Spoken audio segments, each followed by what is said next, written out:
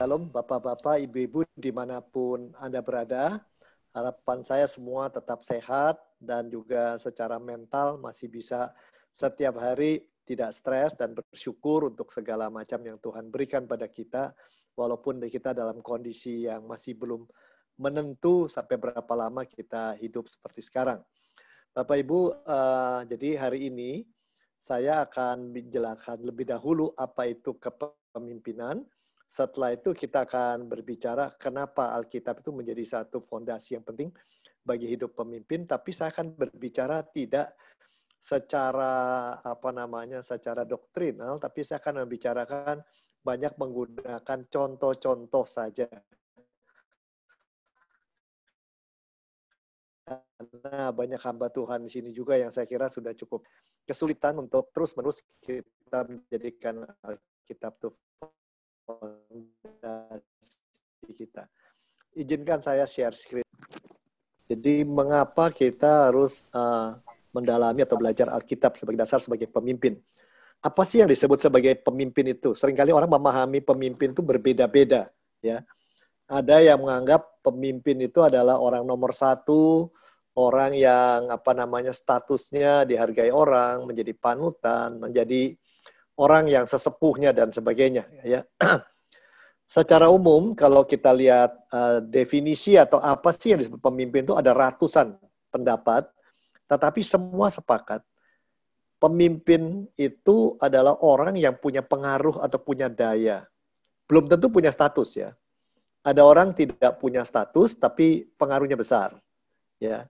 Uh, saya berada di sebuah gereja di Kayu Putih yang masih terus bertumbuh, puji Tuhan ketika kami memulai itu, harapan saya gereja itu jangan lebih dari seribu orang. Kalau sudah lebih dari seribu orang tidak terlalu kenal satu sama lain. Ketakutan saya itu, waktu itu saya katakan sama teman-teman, seribu tapi akrab dan cukup tumbuh tiap orang cukup. Demikian. Tetapi kemudian uh, di sistem kami justru sekarang yang muda-muda, pemimpin di sana yang praktis memimpin semuanya adalah seorang berusia 39 tahun. Nah ini uh, yang penting adalah kita berikan kepada dia kepercayaan untuk punya daya atau punya pengaruh.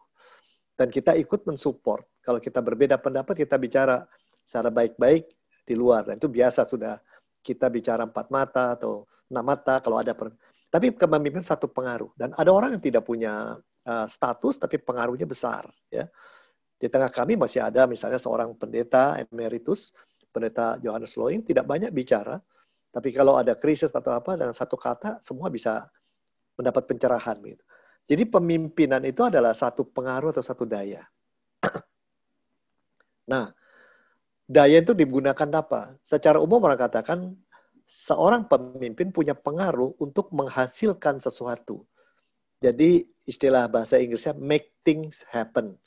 Sesuatu akan terjadi kalau dia hadir. Jadi kalau seorang pemimpin ada tapi tidak ada hasil apa-apa, tidak ada perubahan apa-apa, tidak ada perbaikan apa-apa, ya dia mungkin daya kepemimpinannya kecil sekali. Seorang pemimpin, seorang punya daya pengaruh yang besar yang menghasilkan sesuatu. Tapi bukan hanya terjadi, tercapai sesuatu, menghasilkan sesuatu, tapi apa yang dicapai itu memberi manfaat. Dan bukan hanya memberi manfaat, kalau manfaat sering kali yang terlibat mendapat manfaat, tapi ada dampaknya bagi kerajaan Allah. Kerajaan Allah makin nyata di tengah kita. Nah, yang saya maksud dengan kerajaan Allah adalah suasana, keadaan, situasi di mana kuasa Allah, kasih Allah, ya, kemurahannya, kemuliaannya, keadilannya, dan segala hal yang indah tentang dia dirasakan baik oleh orang percaya maupun yang bukan. Nah ini kalau seorang pemimpin hadir demikian. Nah untuk gereja tentu kita lihat bukan hanya dia menjadi pemimpin yang punya dampak di dalam gereja saja. Dampak itu harus terasa di luar, gitu ya. Jadi buat pemimpin tuh nanti kita lihat salah satu uh, keberhasilannya diukur dari mana, berapa besar dampaknya, apa betul dampaknya seperti garam penting, garam dan terang tentunya sampai keluar dari lingkungan dari lampunya. Nah, kemudian seorang pemimpin itu bisa di, eh, mendapatkan sumber daya itu, mempunyai pengaruh itu, karena dia itu mendapat kepercayaan dari orang. Anda boleh pintar, punya gelar macam-macam, tapi kalau tidak dilihat orang punya kelebihan, tidak akan pertama-tama punya daya tadi karena orang percaya sama dia. Kenapa orang percaya? Karena dia punya kelebihan. Nah, kelebihannya ini apa? Tergantung gitu ya. Kalau di tengah para preman, mungkin kelebihan yang paling kuat, paling berani, paling nekat. Itu yang paling dihargai, yang mendapatkan kepercayaan orang. Kalau di antara ilmuwan, dia banyak menemukan hal-hal baru barangkali. Demikian. Risetnya hebat. Dan sebagainya. Nah, ini seorang pemimpin harus punya uh, kelebihan yang membuat orang percaya pada dia. Kami punya tiga anak di rumah. Yang paling besar sampai kedua bedanya sekitar uh, sekitar enam tahun. Yang kedua yang ketiga ke bawah bedanya enam tahun lagi. Jadi besar sekali bedanya. Tapi yang paling menarik adalah yang paling kecil, yang paling tidak banyak bicara, sering kali harus memimpin dan memang kami kalau dia katakan sesuatu, menganalisis sesuatu, kami dengar, dan biasanya benar. Apa kelebihan dia sampai orang percaya?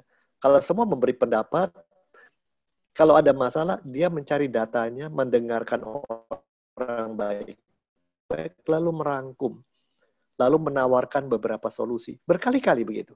Kami lihat, wah ini luar biasa kepemimpinannya. Yang lain juga, tapi ini satu yang paling luar biasa. Dia punya kelebihan penyimak yang baik, dan dia juga bisa merangkum yang baik, dan bisa menawarkan solusi. Dan semua didasarkan prinsip-prinsip kalau dia lihatnya dari Alkitab. Nah ini menarik sekali. Jadi sekali lagi pemimpin adalah seorang atau sekelompok orang yang punya pengaruh. Pengaruh didapatkan karena dia punya kelebihan dan orang lihat itu kelebihan yang relevan dan itu menghasilkan sesuatu, memberi manfaat dan punya dampak bagi kemuliaan Tuhan. Nah, ini yang secara umum kita mulai dari sini dulu. Nah, kalau sudah jelas dari sini, kita maju. Apa sih peran kepemimpinan itu? Seorang pemimpin perannya apa sih? Entah di sekolah, di gereja, bahkan di rumah saya mengatakan ada banyak teori SEC. Pertama, seorang pemimpin itu kelihatan beda dari orang lain. Dia punya visi dan misi, bahkan rencana untuk pelaksanaan mencapai itu. Kasarnya adalah pemimpin adalah orang memberi arah, bisa menentukan arah bersama. Dia dengar pendapat orang, dia lalu bagaimana kalau arahnya ke sini. Dia dengar dari Alkitab dalam doanya, bagaimana kalau arahnya ke sini pertama visi dan misi. Kalau orang biasa sering kali udah tenggelam dalam urusan sehari-hari rutin. Tapi visi dan misi, seperti kasusnya Musa. Musa terbiasa, men, kapan dia kebiasaan? Dia sudah tenggelam dalam rutinitas cari makan. Tapi kemudian Allah melihat dia dan menyentuh dia supaya dia punya visi dan misi bebaskan Israel. Nah, yang seperti ini punya impian walaupun sehari-hari sekarang dia cuma gembala sederhana barangkali. Nah, berikutnya seorang pemimpin adalah orang yang punya menjadi inspirasi buat orang lain. Orang tidak akan mau ikut berjalan bersama dia mencapai visi dan misinya kalau dia tidak menjadi inspirasi dan karena itu tidak bisa mengajak orang berjalan bersama. Jadi pemimpin itu kalau memaksa orang ikut tetapi bukan karena terinspirasi. Jadi visi misi misi misi pendidik si pemimpin sendiri bukan visi misi bersama. Nah, ini jadi masalah. Jadi pemimpin harus bisa menjadi inspirasi dan yang sulit menjadi inspirasi harus mulai dari rumah. Ini yang paling sulit ya. Dan ini nggak gampang. Lalu pemimpin harus juga mampu ketika berjalan dengan orang rame-rame menuju impiannya dan arah yang dicapainya, dia perlu mengedukasi orang-orang sekitar dia sebagian besar orang itu berjalan dengan impian beda-beda, dengan cara berbeda, punya kebiasaan berbeda. Di sinilah dia harus mengedukasi mereka. Ingat ketika Musa membawa orang Israel berjalan, walaupun ada tiang awan dan tiang api, tetap aja orang-orang itu degil, harus perlu terus-menerus diedukasi. Nah, ketika sudah punya rencana ini dan mau edukasi, pemimpin itu harus bisa mengeksekusi rencananya semua boleh sebagus apa pun, tapi kalau eksekusinya nggak beres, pelaksanaannya nggak beres, ya percuma. Justru eksekusinya itu yang paling penting. Dan banyak mencakup hal detail-detail, rincian-rincian kecil. Tanpa itu nanti secara operasi banyak kesalahan. Kemudian sepanjang perjalanan, sering kali Tuhan membawa kita dalam kondisi mendaki ke lembah yang gelap, dan banyak masalah diletakkan di tengah hidup kita, supaya kita belajar Di sini pemimpin harus punya si yang berikut, kemampuan mendapatkan solusi, yaitu menawarkan penyelesaian masalah.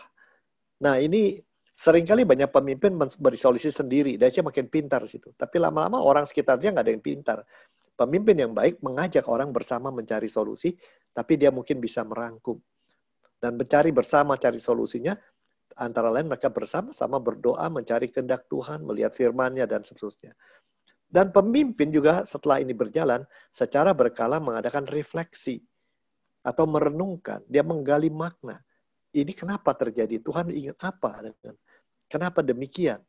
Nah, kalau kita lihat kitab kisah Rasul pasal 16, sangat menarik ya. Petrus berjalan mau mendatangi gereja-gereja yang dia sudah bangun, dirikan untuk perjalanan kedua. Tetapi Tuhan menghalangi Roh Kudus melarang dia ke sini.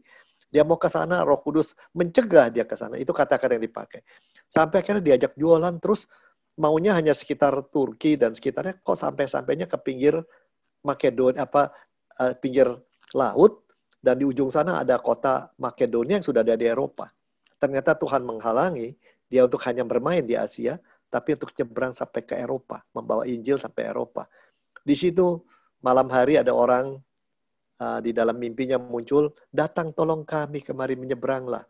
Dan ayat Alkitab berikutnya mengatakan, kami lalu menyeberang ke Makedonia setelah kami, setelah kami menghayati, mengerti, menyimpulkan bahwa itu memang Roh Kudus yang menyuruh kami ke sana. Wah itu memaknai apa yang terjadi. Oh saya nggak boleh ke sini karena Tuhan punya tujuan. Seorang pemimpin yang tidak berefleksi secara teratur, tidak mengajak orang yang dipimpin berefleksi, dia akan tenggelam dalam rutinitas saja.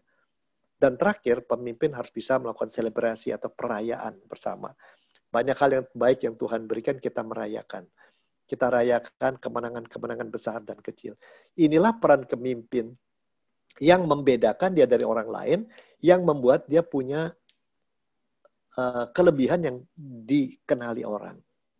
Inilah uh, kelebihan pemimpin. Tapi intinya bukan di sini. Ini tampilannya. Ini luarnya. Dalamnya apa? Ya, ini peran pemimpin yang membuat dia beda sama orang. Tapi dalamnya apa? Fondasi di balik ini. Ya. Nah, kita lihat betapa pentingnya Alkitab belajar dengan asumsi kita sudah memilih Kristus sebagai juru selamat kita. Kita telah ditebus, ditolong oleh Roh Kudus untuk memilih Kristus sebagai juru selamat kita, kita ditebus, mengalami titik balik, baru kita bertumbuh di sini. Nah, kita lihat kenapa belajar Alkitab. Ya, ini dia. Pertama tadi kita katakan pemimpin itu harus menyalurkan pengaruhnya dan jadi inspirasi. Nah, ini dia. Bagaimana supaya bisa punya pengaruh dan menjadi inspirasi? Ada satu hal modern yang Alkitab sudah ajarkan sebenarnya. Pemimpin adalah orang yang diberkati bila ia pun berubah karena pelayanannya. Kita menjadi pemimpin di keluarga kita adalah orang diberkati. Karena apa? Karena dengan berkeluarga, kita pun diubah oleh keluarga itu. Mau nggak mau. Sepanjang perjalanan, banyak orang pemimpin ingin mengubah gerejanya, sekolahnya, keluarganya, orang lain, pekerjaannya, negaranya, bahkan ada mau merubah Tuhan.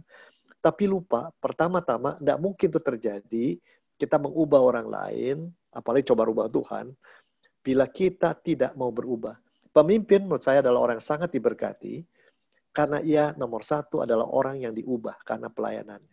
Begitu seorang dipanggil Tuhan untuk memimpin, dia harus menyediakan diri untuk diubah. Contoh yang paling jelas adalah hidupnya Petrus, ya. hidupnya Yusuf. Yusuf jadi orang yang hanya mikirkan jubah yang indah, orang yang ngomong jelek-jelek tentang kakaknya kepada bapaknya, menjadi orang yang bersedia teguh dan di dalam satu bagian Alkitab dikatakan Yusuf selalu berhasil dengan apa yang dikerjakan karena Allah menolong dia. Oh, ini menarik sekali. Dan orang yang tempat dia bekerja melihat dia selalu berhasil pekerjaan karena Allah. Jadi bukan karena dia berhasil saja, tapi berhasil karena Allah. Dan bukan hanya dia berhasil saja dengan Allah, tapi orang bisa lihat juga. Inilah. Itu hanya terjadi seorang pemimpin kalau pertama-tama mau diubah. Di sini peranan Alkitab akan besar mengubah kita. Itu istilahnya kalau sebagai pemimpin harus leading in, memimpin ke dalam diri. Kalau hanya mau memimpin orang di luar dan lain-lain, tapi nggak mau ini repot. Ya, Petrus seorang yang selalu mau menonjol, selalu ambil prakarsa, selalu hebat, tapi pada akhirnya bagaimana kata-kata Tuhan mengubah dia? Hanya dengan satu kata ketika dia sudah meng mengkhianati. Apakah kau mengasihi aku? Apakah kau mengasihi aku? Apakah kau mengasihi aku? Kata-kata Tuhan menunjukkan, buat aku bukan prestasi, prestise, atau pencapaian yang penting. Tapi berapa jauh kita berelasi, berapa dekat kita. Ini yang paling menarik.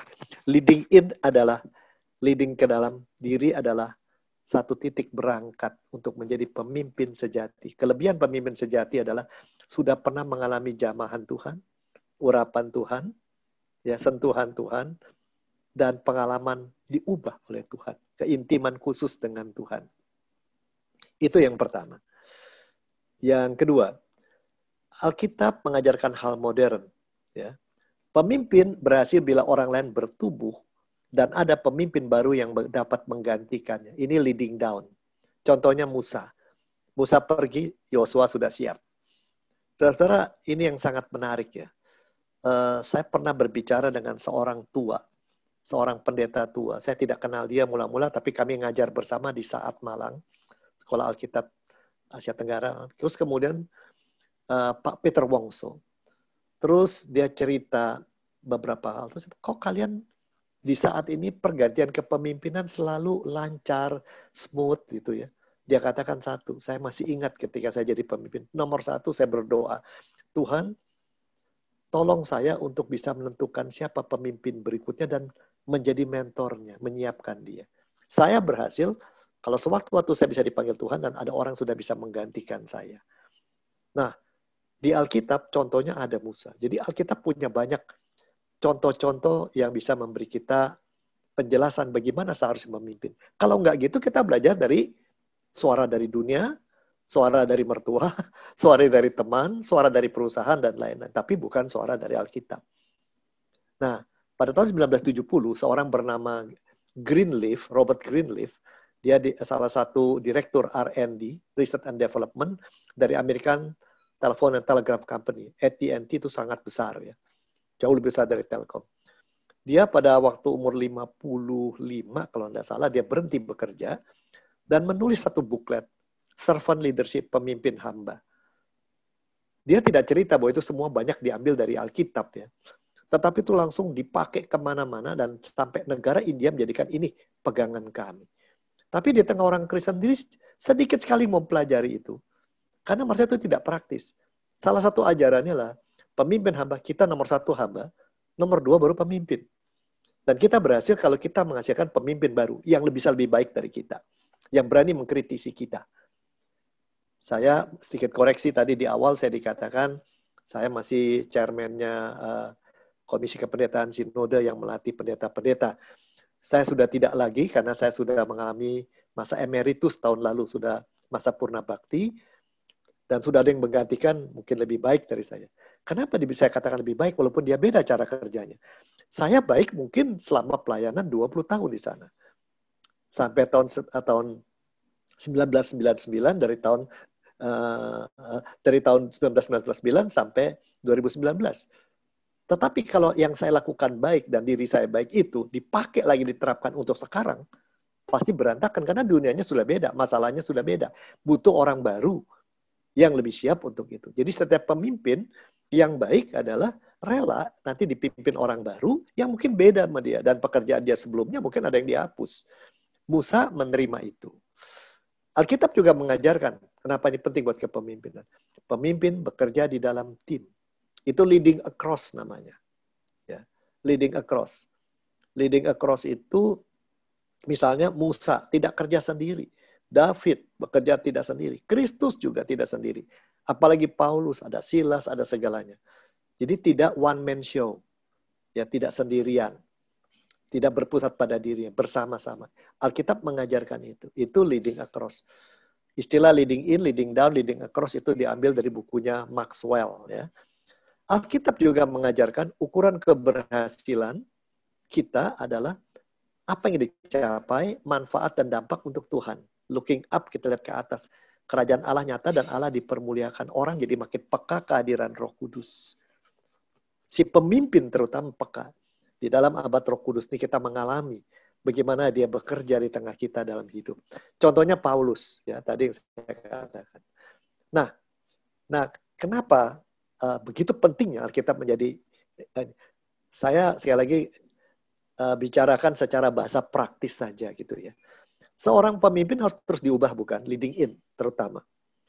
Jadi kita diberkati karena sebagai pemimpin terus terus berubah. Kalau pemimpin nggak berubah, dia yang paling tidak diberkati. Semua diberkati, dia nggak, dia capek nanti. Nah, apa yang diubah? ada banyak hal yang mesti diubah dalam hidup. Yang paling kelihatan pola perilaku. Ya, pola perilaku. Merubah pola perilaku sulit loh. Sangat sulit. Pola kebiasaan. Saya punya pola yang sangat buruk. Yaitu apa? Karena saya kerja keras, maka setiap minggu itu 4 sampai 4 tahun lalu, setiap minggu kalau saya tidak makan 60 tusuk sate babi, apalagi di Kelapa Gading itu ada tok, apa tukang sate babi yang enak sekali. Tidak makan steak babi atau sapi, rasanya hidup itu tidak berjalan benar. Itu kebiasaan saya. Makan bisa empat hari, empat kali satu hari. Badan saya tidak besar karena saya kerja keras dan saya olahraga. Sehingga istri saya satu hari bertanya, kau lebih mencintai aku atau babimu? Pilih antara aku dan babi. Waduh, ini saya bilang sama-sama sulit ini ya. Dua-duanya kucintai.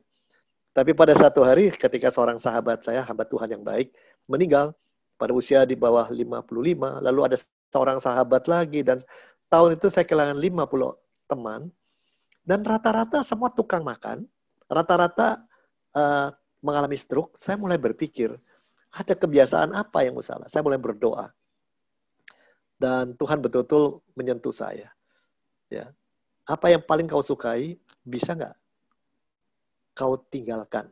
Nah, saya mulailah. Sejak itu memang saya jadi vegetarian, hanya makan makanan laut sampai sekarang.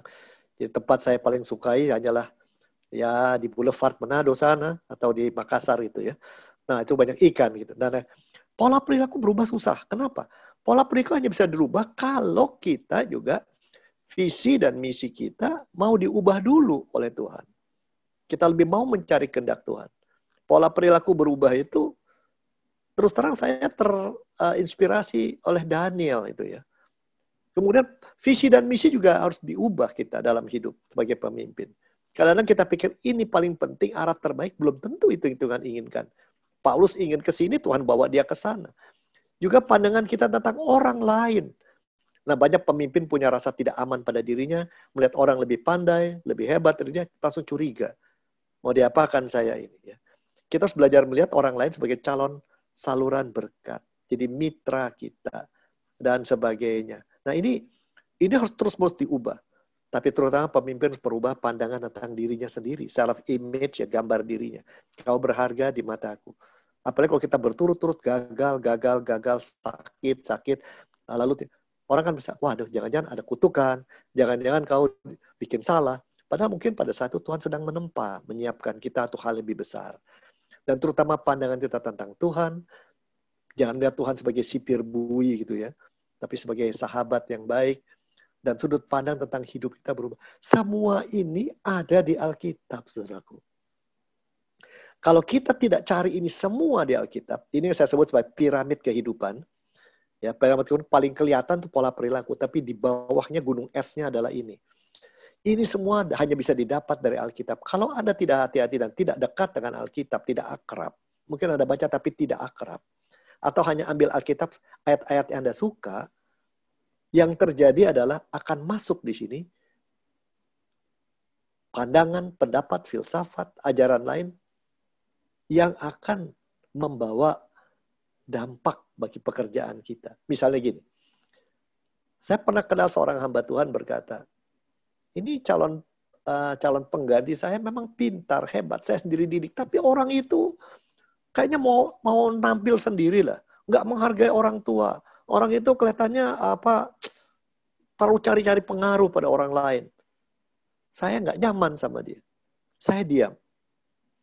Lalu saya katakan pada dia, ya pilihan cuma dua.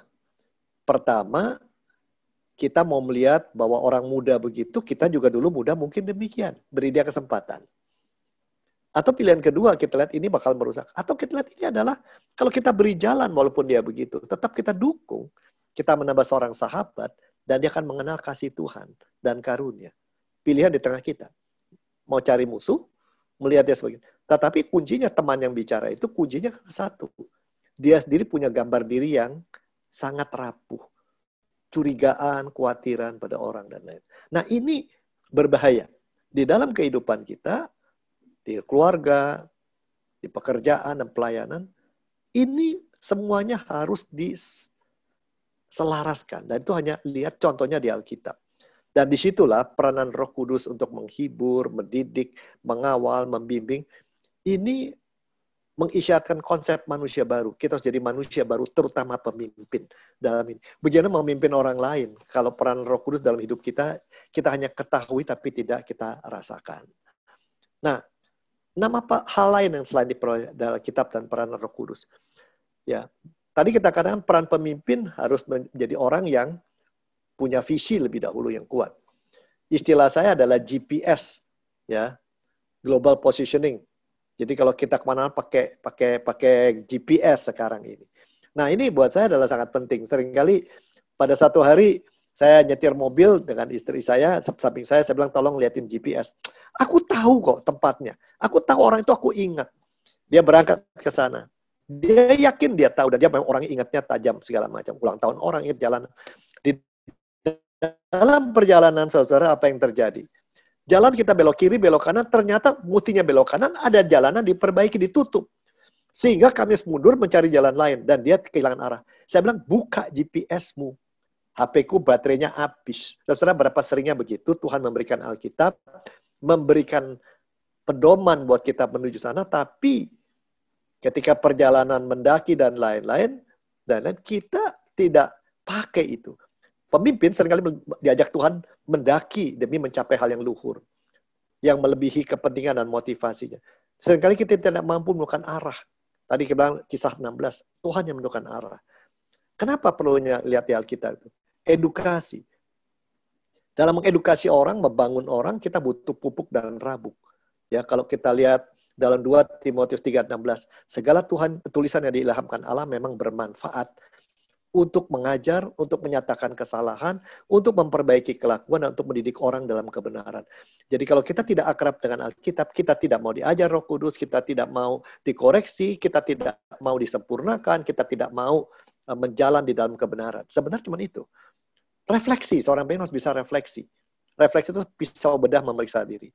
Ibrani 4 ayat 12. Sebab firman Allah hidup dan kuat lebih tajam daripada pedang bermata dua mana pun. Yang menusuk amat dalam sampai memisahkan jiwa, roh, sendi-sendi, dan sumsum. -sum. Ia sanggup membedakan pertimbangan dan pikiran. Salah satu hal yang penting pemimpin adalah memeriksa inner motivation, motivasi yang terdalam di dalam diri kita. Keindahan kalau Anda akrab dengan roh kudus, ketika doa pagi, lihat firmannya, dan dia membisikkan pada kita tentang sebenarnya kau apa kejar apa sih? Apa yang kau takutkan sih? Apa sih yang kau pikir sebagai kegagalan? Sangat menarik percakapan dengan itu. Bisa tanpa berasa dua jam sudah lewat ya dalam doa. Dan ketika dalam pembacaan Alkitab, rasanya nggak mau sudah. Saudara, ini akan menolong.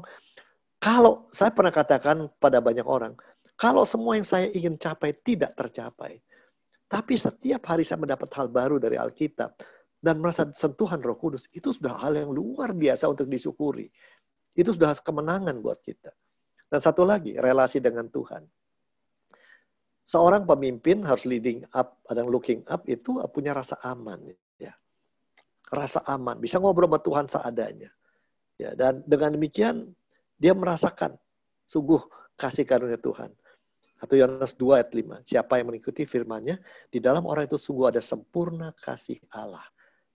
Dengan itu kita kita tahu kita ada di dalam Dia. Kita nggak jalan sendiri di dalam hidup. Salah satu persoalan terbesar dalam kehidupan pemimpin sering kali makin besar bebannya, makin merasa tidak banyak orang yang mengerti saya, tidak banyak orang yang saya bisa share beban saya. Dan dia akan kesepian, itu danger. Itulah ada pemimpin yang jatuh ke dalam relasi yang salah dengan orang lain, punya hobi yang salah, habit yang salah, karena itu. Alkitab sudah menolong kita. Jadi inilah Alkitab bisa memberikan arah selalu menjadi kompas kita, mendidik kita, ya, juga menolong kita membedah diri kita dan membuat kita merasa aman dalam perjalanan kita. Nah, tadi katakan kenapa kita belajar, saudaraku, adalah menambah hal-hal baru yang Tuhan berikan.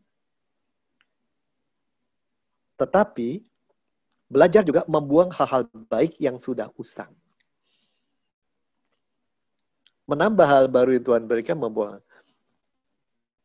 Ketika saya baru menjadi orang uh, percaya, saya ambil Alkitab, lihat satu ayat, saya pegang dan memang Tuhan memberikan banyak sentuhan melalui hal itu ya. Um, saya pendaki gunung, pernah sampai ke Himalaya segala. Dari muda, satu hari kami habis percaya itu dengan teman-teman pramuka naik gunung gede. Tapi ketika sampai di atas, baru sadar tidak ada yang bawa makanan, cuma satu supermi dibagi lima. Dua hari, bayangkan laparnya kayak apa. Ketika pulang sampai Sukabumi, sebelum itu saya membuka Alkitab, ada ayat yang aku mencukupkan diri dalam segala keadaan gitu ya. Dan setelah itu ada ayat Tuhan di dalam Tuhan segala hal bisa kau tanggung. Jadi saya simpulkan Tuhan yang mencukupkan saya. Begitu itu sampai kota Sukabumi, ada orang yang saya kenal. Kita mampir di rumahnya. Dan saya cerita sama teman-teman tentang uh, kehidupan rohani. Saya mereka ketawa. Kalau Tuhan lu bener hidup, coba lu pengen makan apa? Aku kepengen makan siomay.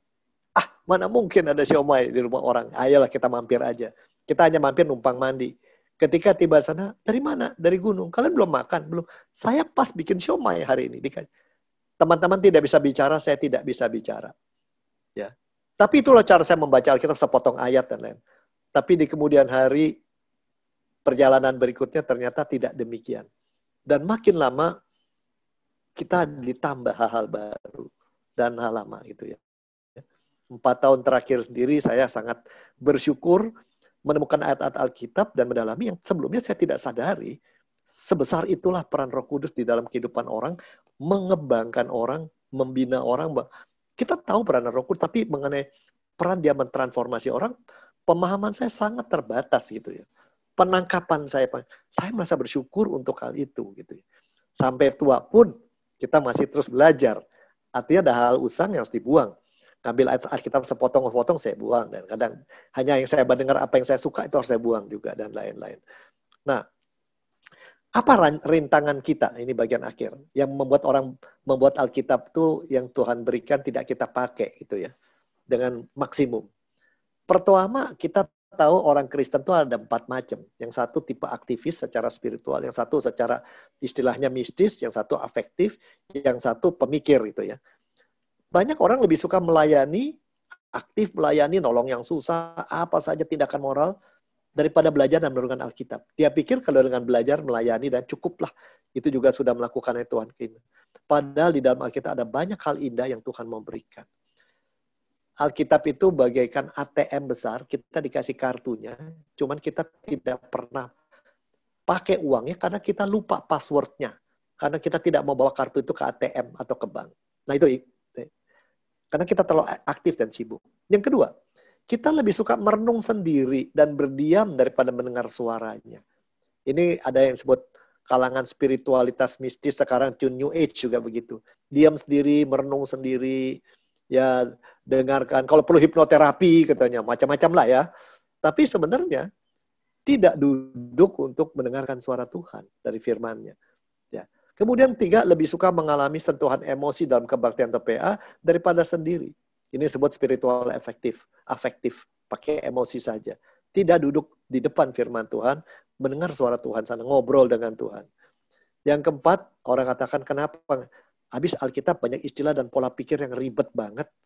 Coba kalau lihat kitab itu apa namanya, Eklesiastis, ya, pengkhotbah bahkan hikmat pun kadang-kadang bikin pusing kepala. Kenapa dia bilang begitu ya? Nah, itu yang begitu-gituan. Lalu, banyak orang juga tidak dekat dengan kita karena salah paham. Dia pikir kalau sebagai pemimpin saya berhasil bukannya karena leading in, tapi karena leading down.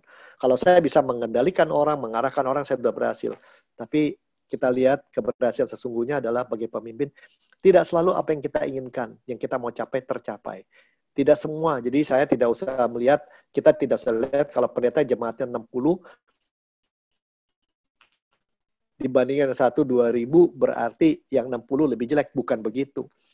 Seorang pendeta dengan jemaat cuma 50, 60, 70, tetapi dia paling merasakan syukur, banyak belajar dari Alkitab, merasakan sentuhan Roh Kudus begitu hebat, dia sama hebatnya dengan orang bisa menghasilkan banyak.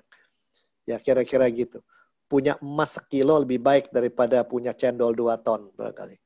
Nah yang terakhir nomor enam, salah investasi. Suka menambah pemahaman doktrin selama ia tidak perlu berubah diri. Banyak orang suka mendalami Alkitab bukan untuk mengubah diri atau diubah Tuhan, tapi justru untuk doktrinalnya. Lama-lama kita nggak dilihat, doktrinnya dipertahankan. Dan baru cari ayat Alkitab yang cocok dengan si doktrin.